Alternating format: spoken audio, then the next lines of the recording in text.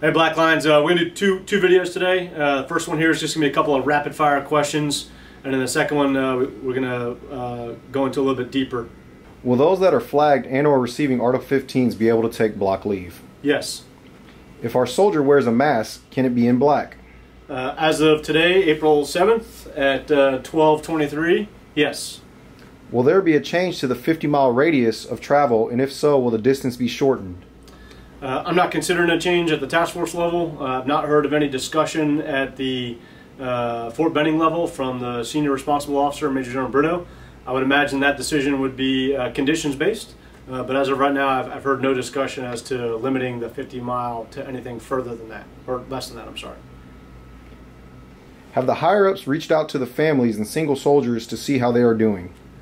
Uh, so every day, your soldiers are, are being reached out to by their chain of command at a minimum. Uh, so there's daily check-ins that go on that include Saturday and Sunday.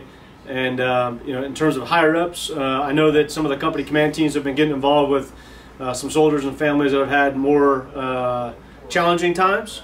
Um, but that's that's really kind of the, the extent of the higher ups. I'd say is, is mostly command teams uh, at the company level. And then I know I've interacted with soldiers here at work um, and, and, talked about what's going on in a few families here and there. But for the most part, it, it is a, company uh, company level command. Is the DFAC opened all week for the soldier who lives in barracks?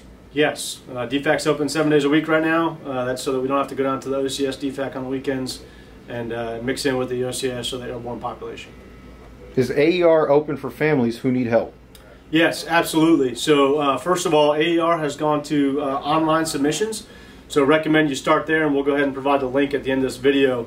Um, but, but good, good time to highlight the Army Emergency Relief Fund is really about soldiers helping soldiers. Uh, so in this time, you know, some folks are actually saving a little bit of money because they're not driving as much uh, and, and, things like that. Uh, consider giving to AER.